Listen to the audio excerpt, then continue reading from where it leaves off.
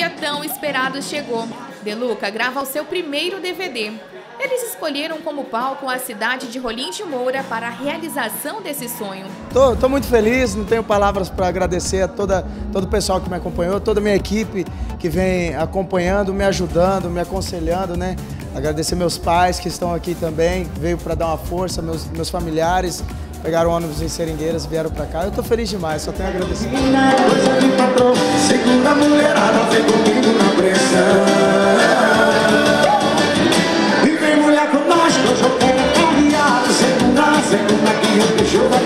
Como, como em toda entrevista eu venho falando, que pode esperar do DVD é muita alegria, muita, é, muita pressão, com certeza. Os melhores profissionais estão trabalhando junto comigo. Tenho certeza que vai ser uma benção. Já deu para pensar no pós-gravação, futuro do Deluca?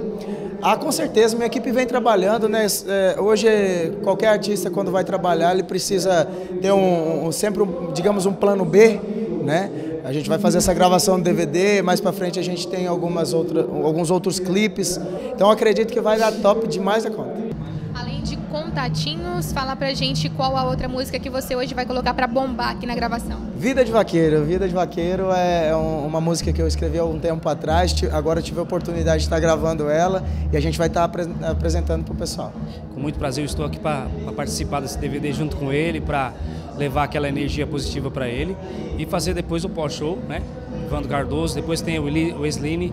Então a gente está muito agradecido também ao Anderson Lins, pessoal toda a equipe, por ter convidado a gente para participar desse sonho do, do Deluca e participar desse show maravilhoso. Você também é cantor aqui da região? Sou, sou de Cacoal, né? Eu já tenho 14 anos na música já, então já tenho, já tenho um pouquinho de estrada já, né? Então temos uns trabalhos aí fazendo junto com nossos amigos aí, junto com o Deluca, inclusive. E graças a Deus, a Deus tem abençoado muito, muita gente.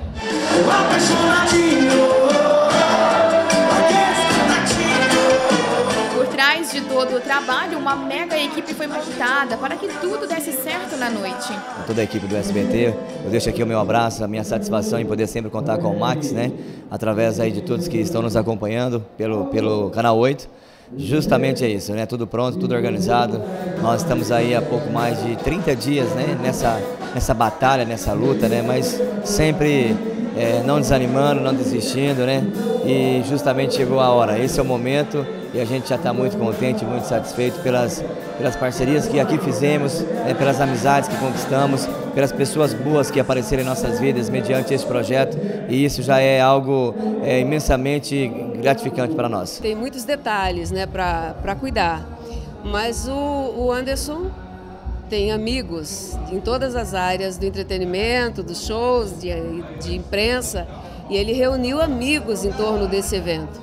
São pessoas que ele já se relaciona, já trabalha, e é por isso que ele conseguiu trazer aqui hoje uma, uma realização de um sonho para o Deluca e também para ele, né? Amigos e familiares do cantor vieram em caravana de Seringueiras, cidade natal de Deluca. Os pais eram só sorrisos e felicidade. É difícil até de falar o que assim a gente está sentindo, né? O coração bem apertado, né? É um sonho, a realização dele, né? Que ele sempre sonhou desde pequeno, né? Então assim é muito gratificante. O que eu posso falar assim que eu estou sentindo muito feliz mesmo e só Deus sabe o tanto. a gente sempre acreditou, sabe? Em meio de tantas dificuldades que tinha e então tinha hora que dava aquele medinho assim de às vezes não conseguir, mas, mas a gente acreditou, sempre acreditou, sempre tentou, né? A música sempre foi o sonho dele e o nosso também. Ele nasceu com esse dom, né, para música. Desde pequenininho já gostava de fazer bateria com latas e, e tampas de panela, né? A gente saía para trabalhar, quando chegava em casa ele estava brincando no terreiro. E logo em seguida já pegou um, um cavaquinho que tinha em casa e começou a brincar, aprender a tocar, né? E aí quando foi para a escola, ele já começava a se apresentar na escola, cantando as musiquinhas e tal, né? E por aí foi. Mas assim, na verdade, ele nasceu com esse dom, porque eu nem tinha tempo de ensinar ele, na verdade, pelo fato de trabalhar muito também, né? E aí, às vezes, eu tocava na igreja e, a uma certa época, toquei é, em banda de forró também, né? E às vezes levava ele para ver os shows e coisa e tal. E ele, com sete anos mais ou menos, oito, já começou a fazer algumas apresentações, né? E dali para cá, ele não, não se desligou mais da música. Tem talento, né? Igual eu disse antes, nasceu com o dom, mas assim é, foi muito rápido, para dizer a verdade, né? Então foi surpresa para mim. Mas assim, uma coisa que eu admiro nele é que ele nunca desiste, sabe? Porque, como diz um provérbio, é, vencedores não são aqueles que nunca perdem, mas aqueles que nunca desistem, né? E realmente isso ele, ele faz, né? Ele nunca desiste. Independente de estar tá bem ou estar tá mal, de ser recebido, bem recebido ou não, ele insiste naquilo que ele acredita, né?